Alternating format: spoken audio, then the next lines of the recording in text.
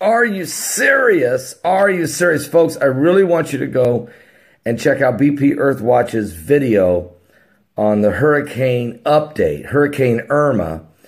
This is where we're at, folks. This hurricane is going right to the tip of Florida.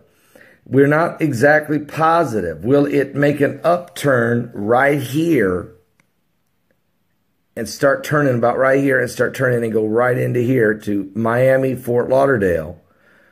Or will it shoot the gap just past right right in between Cuba and Florida and go into the Gulf?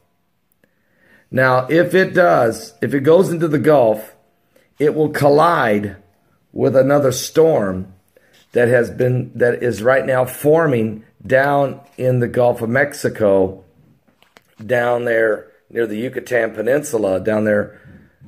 That's that's in, did the same thing that Harvey did. And that's how Harvey got started. Harvey formed down there and ended up turning into a Category Four by the time it hit Corpus Christi.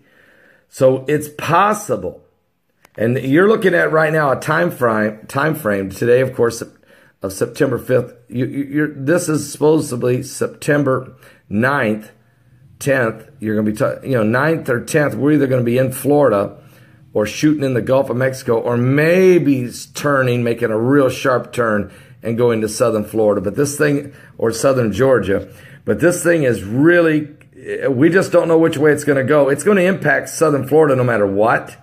Hopefully, it's not a direct hit for you folks. Pray to God it just starts making some wild right hand turn, but we just don't know. I'll be back with more current world events and how they relate to biblical prophecy. Be praying, everybody pray. We're in the last day.